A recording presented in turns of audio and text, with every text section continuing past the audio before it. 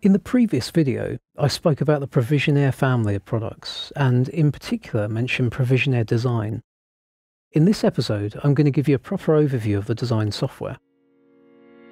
ProVisionaire Design is intended to provide an environment that will be familiar to audio system designers from all areas of the industry. Despite the fact it's capable of creating very large designs, the core of the ProVisionaire Design ethos is the familiar user interface that provides a fast and simple workflow. Complex multi-room systems can be viewed and edited in smaller but expandable blocks that separate the processing for each location.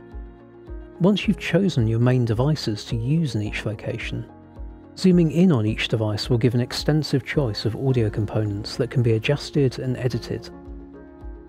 On some hardware, you can even utilize open architecture to build a custom system with components that can be dragged and dropped into place. Then, clicking on each component allows a designer to configure it as required. Connecting components together is fast, with automatic connections being made as you drag your mouse around the interface. Also, components can be grouped together and labelled to create user-defined groups that could represent a server room or local I.O. on a stage, for example. This all helps to speed up operation and to be more user-friendly. Here we've created an example of a multi-use venue, utilising a range of networkable products from the Yamaha portfolio, including DSPs, amplifiers, I.O., speakers, and even our ADECIA conferencing microphones, to allow enhanced use of the meeting spaces. ProVisionaire Design can provide a variety of audio processing, such as acoustic echo cancellation, large delay matrices, Dugan auto mixing for conference events, speaker processing, and much more besides. The list is very comprehensive and designed to cover many applications. You can store parameter sets to allow your system to change for different uses if the venue is multi-purpose. These can then be recalled using Yamaha or third-party remote control devices. If settings have been changed on your system during an event, snapshots can be recalled to reset your devices as required. Or, alternatively, you have the option of bringing the software back online. Syncing from computer to device can restore the whole venue's original settings and get everything running normally again.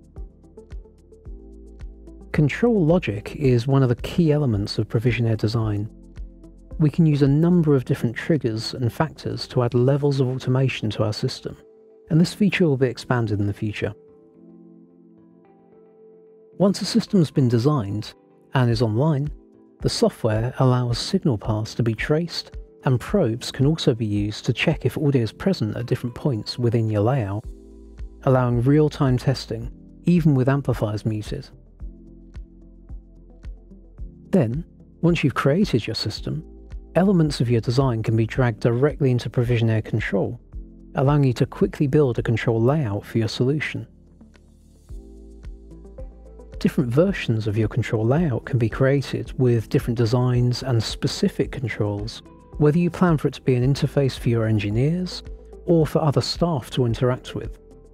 In addition to configuring larger DSP devices, the design software can also cater for meeting and conference rooms, and can cover requirements for background music, sound masking and paging to cover an entire venue. In summary, ProVisionaire Design provides a familiar design environment for large-scale, multi-purpose audio systems, and it provides you with increased efficiency both pre and post-install. So that's all for the release summary of ProVisionaire Design, in the next video, I'll speak about one of the new products accompanying the design software, a larger DSP system called the DME7.